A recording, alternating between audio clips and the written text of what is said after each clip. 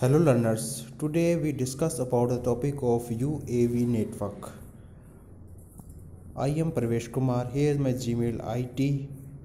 Now we discuss upon UAV network in the IoT, how UAV network is responsible for in the network topology we discuss in brief. So first we discuss about what is the features of UAV UV is if topology of mesh or star. In next we next after minutes we discuss about mesh or star network topology. Now routing protocol should be adaptive in nature. In the UAVE it should be multitasking eh, like surveillance and mapping we use the UAV network in the UAV network we have used the mainly drones and quadcopters and or other flying things we have the in the UAV network. It in the UAV it's aerial surveillance so it, it covers the large coverage area and it easily reconfigurable for various varying missions. So it should be used to in the surveillance and we use in the our in a border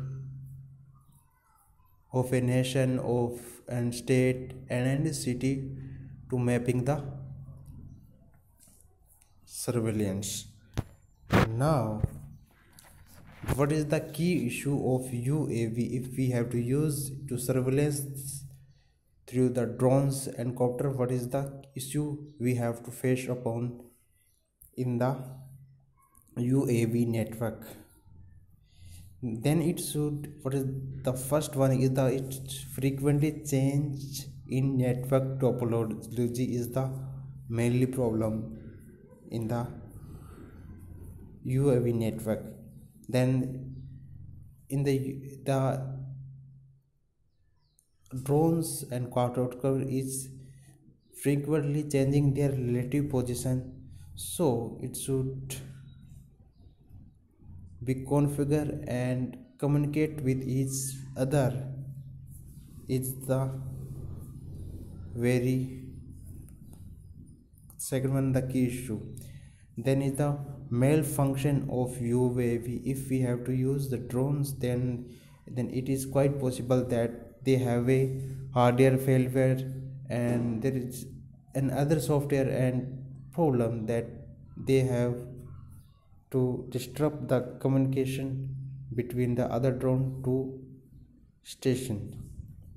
Then intermediate link nature and if we if we don't use the suitable routing algorithm is the one of the main key issue of UAV network. Now we use so UAV network constraints. There is constraints to in the UAV network. There, there are frequent link breakage and prone to malfunction is the second one we earlier discussed. And for the UAV there is lots of aerial support to surveillance. So there is huge power requirements to flying and sending communication to each other.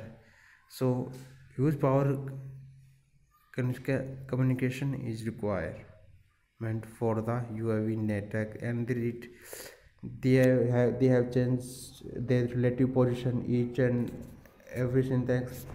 So it is possible that, that they are very complex to design and because we have to to design in disruptive manner and physically prone to environmental effect. There is a environment fact that it should be um, through the surveillance and there is wind and rain and, and any other disaster that they have to face. We also use the UAV network in the disaster management to predict uh, predict how how much go how much it effect to particular cover area and we can predict that through the UAV network and the after the disaster we used to uh, use this test network. Now now we this there is a two topology we use in the star and mesh topology. Here is the star topology it is two types of star and multi-star in this there are two um, diagram there, there is a one station and the the UAV connected to a point to point communication to communicate with the station.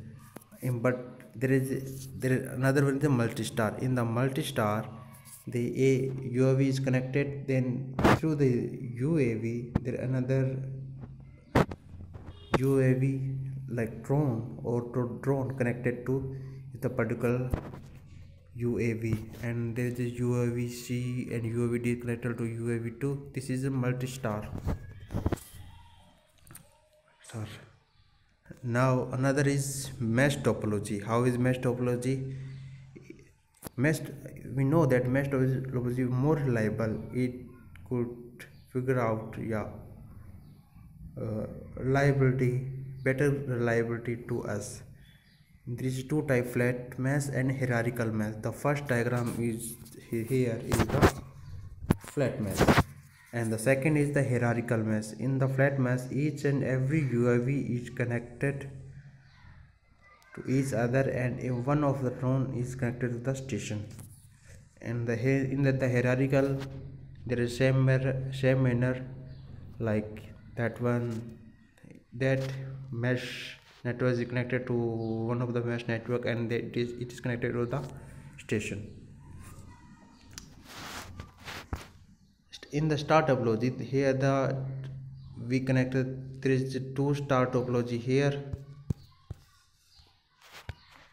Two star topology there is two connected then there is one star topology we discuss about now what are the uav network advantage?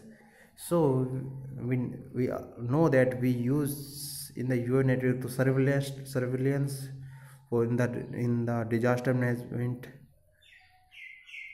control. And it gives us a very high reliability high surveillability to because we surveillance in through the aerial. So it give us a better pictures and effective of survivability. There is single malfunction approach and cost effective and it efficient and it it pushed our uh, disaster and surveillance mission to a very good direction. So now thank you for listening and watching this video. Please more subscribe this video to get more efficient lecture of IoT theory topics. Now thank you for watching this video. Please subscribe my channel.